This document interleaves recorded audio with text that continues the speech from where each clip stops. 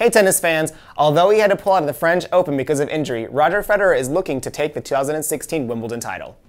Has he fully recovered from his injuries to make it all the way? Only time will tell. But in the meantime, let's take a look at what the maestro of tennis will be sporting in London. All white is a theme at Wimbledon, and Roger not only will look cool in London, but also keep cool.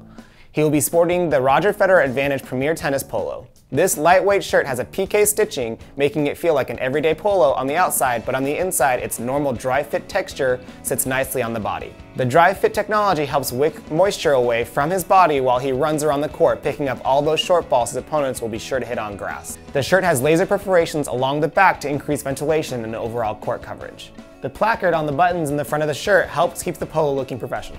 Roger will be sporting the Nike's men's Gladiators Premier 7-inch tennis shorts in white. The four-way stretch and dolphin hem offers little in the way of restriction and increases mobility. He will definitely be needing to move quick on these grass courts where the ball has a low bounce.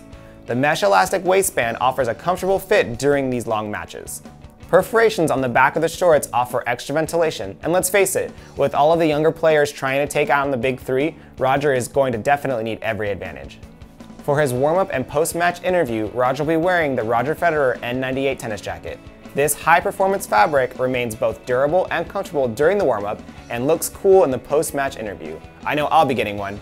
As is his norm, Roger will be showcasing the Nike Zoom Vapor 9.5 Tour. These reliable, lightweight shoes are made for multi-directional speed and offer increased support and stability in the midfoot. Tennis requires quick, explosive movements in order to get every ball, and Roger will definitely be able to do this with these shoes. Featuring maximum heel cushion and comfort, better abrasion resistance, and durable outsole, you will have everything you need for advanced speed and court coverage. What better way to take down his opponents than with his trusty Wilson Pro Staff Roger Federer 97 autograph.